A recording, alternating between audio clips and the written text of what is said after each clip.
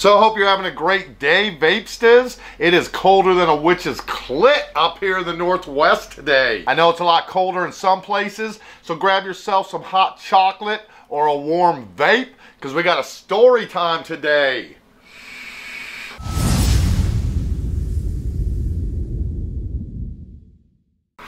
So that's right, I'm going to tell you guys a story about one of the few times in my life I've actually had a manual labor job. Usually I've always worked in restaurants and hotels downtown in Seattle where I grew up. But when I moved over here to the eastern part of the state and bought that piece of property off the grid I was living off of, of course there's not a lot of restaurants or hotels or things like that. So my buddy had been working at Dovex Fruit Shed for a while and always mentioning to me like, man, why don't you just get a job there? I'm like, I don't know nothing about no fucking apple sheds or nothing like that. Never done it.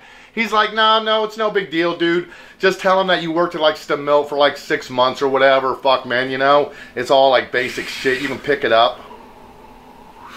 So finally, I get broke enough or desperate enough, whatever. So I agree. All right, he gets me the appointment. Shit, I go in there and meet the manager. Even going in the place, man, it's just completely foreign to me. There's just fucking apples going every which way on conveyor belts and shit. There's big ass fucking tubs of fucking apples being dumped into soapy water. All kinds of walkways over everything. Then up at the top, there's like a big glassed in booth where all the managers and all the shit are where they can just look down and see everything going on, keep an eye on shit. So I go up there, meet with the manager. She's like, oh, Pat told me that you've worked with the boxing machine before at Stemilt and everything. So I'm just like, yeah, okay, whatever. Trying to go along with it. So she's like, all right, we're going to have you go ahead and start on the box machine because whoever was running it hasn't been here for a week. So she's like, why don't you just go ahead down there and Miguel's going to show you how to do that. And of course, right away, I don't even got a clue what fucking machine's a boxing machine. They all look exactly the same. And I can tell, she can tell right away. She's like, yeah, right over there. So I find my way over there, and it takes me about maybe a minute or two to realize this fucking Miguel guy, he ain't showing me a goddamn thing. Because I guess, you know, he's been working it for the few days since the guy who usually did it left. And I hadn't really thought about it, but I guess he got plans on staying on that machine. So yeah, he was not happy to see me. As far as I knew, once I got there, man, motherfucker didn't speak no English nothing. Of course, I seen him later speaking fluent English. But anyways, I'm trying to ask him how shit works. Well, within a day or two, it was pretty quick. I didn't know what the fuck I was doing. They kind of figured it out. So I end up getting put on the main line. Basically, the apples come by on a conveyor, and then you've got like three different things. You're supposed to put the big apples on one conveyor, and then another size thing here, and then like the bad, bruised, or deformed apples and shit you're supposed to put on another thing. So you got like three things going. Apples going by like crazy. And now I'm not making any kind of social commentary about this. I'm just relaying the story as it happened factually. And it just happened to be that I'm the only white person on that line at all. You got some white people in the fruit sheds doing forklifts and doing other things. Of course, all the managers are white. But I'm the only guy down there on the actual line sorting apples. Really, I'm think I'm the only guy, except for maybe one or two others. It's pretty much all Hispanic women. But I didn't think it was that bad. You'd get a little bit dizzy if you stared at that fucking conveyor of apples going by for too long. You'd look up and fucking everything would still be going by. But anyways, I'm having an alright time, kind of trying to talk to the women and shit, like, hey, how's it going? So we grab this kind of apple and we do this and this. And they're trying to help me out a little bit. But I do kind of notice that I'm like going about it like this pace and shit, like, oh, all right, put it up there, do it here. Look next to me, and like the two chicks past me are just fucking going crazy, dude. And I can tell my slacker ass is just create like twice as much work for them. So even on the fucking line, I'm like worthless. And then I remember at one point a manager came over about something had slowed down or they had to shut the line down for a minute. So she's screaming at everybody and yelling at them.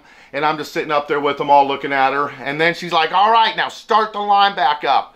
Nobody does shit. They're just all sitting there staring at her. So she looks right at me and goes, tell him to get the line started again. And I'm like, fuck, man, she knows I don't speak no Spanish. so I'm like, what the hell are you telling me? But of course, they all speak English. I've been fucking chatting with them the whole time and shit. So I just look at the guy next to me. There was a guy on the line at that point, And I'm like, dude, she wants you to get the line back going again. He fucking just looks me dead in the eye and goes, yeah, we know.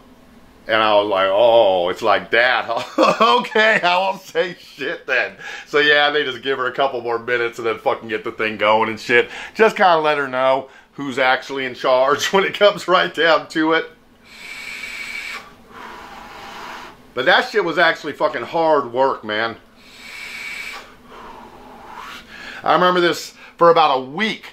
We were packing huge boxes, huge, of 10 pound bags of apples. And they would come down on the conveyors, and then it was me and this other, like, fucking 65 year old Hispanic guy, about half my size. And you had to grab two 10 pound bags and then lay them down in the box and then grab two more and lay them reverse and grab two more and you're filling up like a hundred of them in these huge boxes. When they're full, they come by and get them on the pallets. And even fucking that, man, you start getting so tired after a while because there's no, you know, time to rest or rub the muscles. I mean, you're grabbing two bags. As soon as you come back up, there's two more. You're doing that for four hours until lunch break and then another four hours right after that. So I remember I was getting kind of hella sloppy by the end of the first box. And when I put that big ass lid on, it was kind of like hexagonal shaped and the fucking apples were stacked up too high. So the box, the lid was like maybe a couple of inches up. But I was like, fuck it. And then my buddy Pat comes by with the pallet and fucking grabs the one box, puts it up on top of the other box, grabs the two of them, and fucking takes them off. About five minutes later, he comes back and he's like, fuck, man, you need to pack them apples better. I was like, what are you talking about? He was like, man, by the time I got that fucking two boxes back to where they were stacking them, he said those fucking apple juice just pouring out the side of that fucking box. And I was like, well, it's only the top, you know, apple or two. And he was like, fuck no, man. That shit's gonna like, you know, domino effect. When you crush the first apple down, it's going to press on the next one all the way down to the bottom. He's like, that whole box is fucked. But of course, he didn't narc me out or nothing. so I felt bad, but what could I do, man? So we're sitting there for a few minutes, and the old dude who'd been packing the apples with me, he doesn't really speak English, but he's kind of um, translating to another younger kid there. And so the kid's asking me about, you know, what are you doing here and stuff. Um, you know, so I tell them, yeah, you know, I went here, I went to college, I did whatever, I live up, you know, off Badger Mountain, off the grid and shit. And then I notice the old guy say something, and they all start laughing. So I'm like, what'd he say? And then the guy's like, oh, nothing. And I'm like, no, man, I don't give a shit. I'm just curious. What'd he say? So he said, well, it's just funny that you know, he doesn't speak English. He's basically a migrant worker, just came to this country here illegally, don't have fucking no opportunities, don't have nothing. You were born here, fucking went to college, you got parents with decent jobs, grew up middle class, the whole thing, all the fucking opportunities in the world, and yet the two of you guys are fucking doing the same job. so I thought about that for a second. I was like, damn, he got a point there, man that don't that don't say too much for me. But of course, from my thinking, the whole point was I gave up that privilege. You know, the stuff that he didn't have access to, I didn't want access to. That's why I'd moved up on the mountain. That's why I'd, you know, gotten off the grid, done the whole thing. That was going to be my part to not partake anymore on the whole fucking system, you know? So, all right, I'm about to get to the climax of this story now. Just hang on a sec. Let me grab a quick vape. So my buddy Pat gets it hooked up so that after everyone leaves, he's been working late shifts. It's right now we're during harvest season. That's the whole reason I got this job because they're working swing shift right now. So it's not the main real crew, the people who've been working there forever and shit. We're both mostly just temporary workers, stuff like that. Most of them at least got a little experience, not like me. But anyways, there's a bunch of work they're doing after the shift. So he comes by and grabs me one night and says, man, listen, tonight after the shift, you're going to be fucking driving forklifts with them. I'm like, fuck, man, you know I never driven no fucking forklift, dude. The fuck? So he takes me out back gives me like a five minute crash course, man, on how to fucking drive those things and shit. I got it, you know, I got it down pretty good. I mean, it wasn't second nature, but you know, I could get it underneath the pallet, lift that shit up, you know, put shit down, whatever. So I'm actually feeling pretty good about it. Worked a couple of nights, been driving those things around. So this is really late one night and shit out to the cold storage and back in and just cleaning up some shit. And I'm coming back in and I'll fucking never forget that the janitor crew. It was these three little tiny Mexican guys who come in every night and they'd work from like 3 a.m. until like 6 or 7, fucking spraying the place down, mopping, doing a bunch of shit. So I'd seen them a few times but never talked to them or anything. So I just remember I come into the main fruit shed where all the fucking conveyors and everything is all shut down now and it's just these three fucking janitor guys. And they've been fucking mopping the floor and I remember it was kind of like some soapy water puddle kind of sitting right in front of them and they're against one of the apple conveyor belts. It's like a metal rack. Actually, it was the one with wheels on it. The apples themselves didn't go across it, but boxes did. So boxes would come in and they would slide across all these little metal wheels all the way down.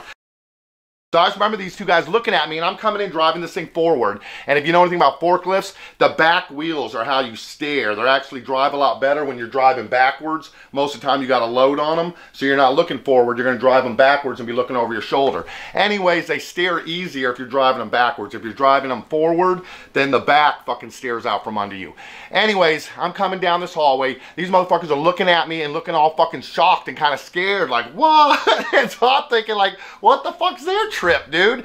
I hadn't realized at the time that fucking forklift tires have like no traction whatsoever, man. They're like fucking NASCAR tires or something, just bald, smooth fucking tires. And so, of course, these guys did realize it because they've been around fruit sheds for a long time. So they see me coming and they literally start climbing back up over that metal fucking grate like they think I'm coming right into them. So I'm like, what the fuck, dude? I'm just coming up, go to cut my turn like I, you know, would do because you can cut it pretty sharp with that back tire spinning.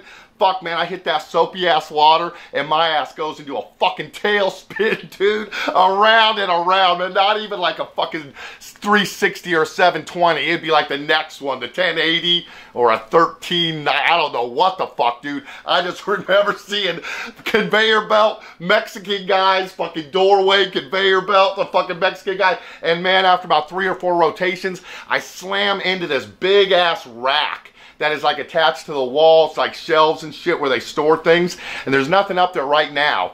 But anyways, I nail into this big ass fucking metal beam that's that's bolted down into the fucking concrete.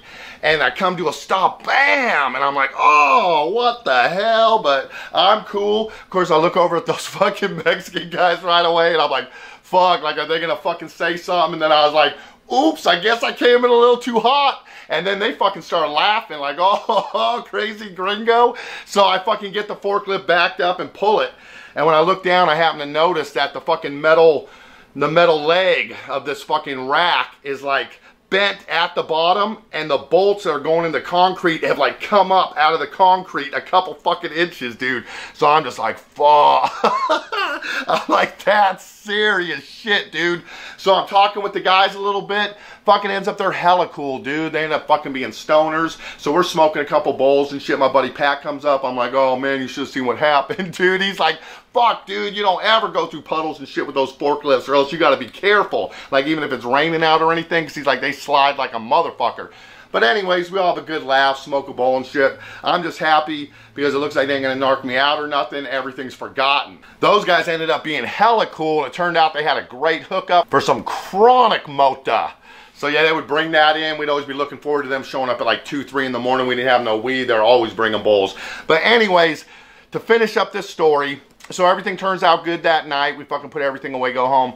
Now, flash forward to about two or three weeks later. I'm working on the line, doing whatever, doing some shit, and I happen to be bringing something across the fruit shed to the other side, back to where I'd come in that night, where those guys were, where the fucking conveyor, where the boxes go. And I noticed that there's like three or four of the big wigs of the company, fucking a couple of the engineers, and like the CEO guy, and they're all standing right around that rack. So of course I'm curious, like, oh fuck, what are they looking at? Sure enough, dude, they see that fucking thing. I hear one of the engineers going, that's compromising the entire structural integrity of the fucking shelving unit. And those, of course, all kinds of shit stacked up there now. Big ass pallets with boxes and everything. So he's like, you gotta get everything off of these fucking shelves right now. You could kind of see, like, eh, they were leaning a little bit, like, towards that leg. That's probably what got someone's attention, was like, what? And he's like, this could kill everybody. get that shit off of there. So I'm just like, oh, damn. Fucking hoof it back over to my conveyor conveyor section, man, I don't know nothing about nothing. I'm just bagging it and shit. And Then, of course, about maybe 45 minutes later, my buddy Pat comes by and he just looks at me. And I just look at him, as we know, and he's just like, you dumb motherfucker. He doesn't say it, but just with the eyes, you know? And I'm like, yeah, I know, bitch. They ended up replacing the rack and everything. Was, I'm sure it cost them like $10,000, but it was fine. Nobody got killed. But I know my ass will put your company out of business if you give me a job I don't know how to do because I'll fucking go ahead and just try to do it. with no concern for anybody's safety.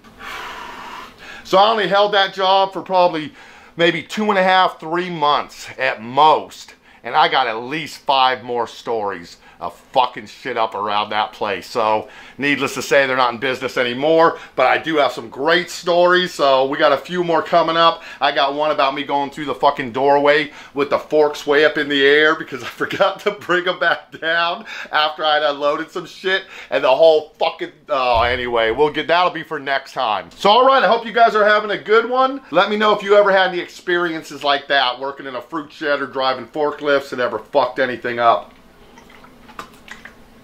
maybe I won't feel as bad. Not that I do anyway. Yeah, all I'd say is I had no business driving that forklift to begin with. But all right, guys, thanks for hanging out for a little while. If you're curious what I've been vaping on, this is actually the G320 320 watt mod by Smok with the TFV8 tank. I just about sucked all the juice out of it during this story time. But I'll take another big hit off of this thing. You can see how great this thing's vaping. I've been hitting it at 125 watts today. And in the meantime, don't forget to subscribe, like, and comment on this video. And then I'll see you guys right back here on the next one.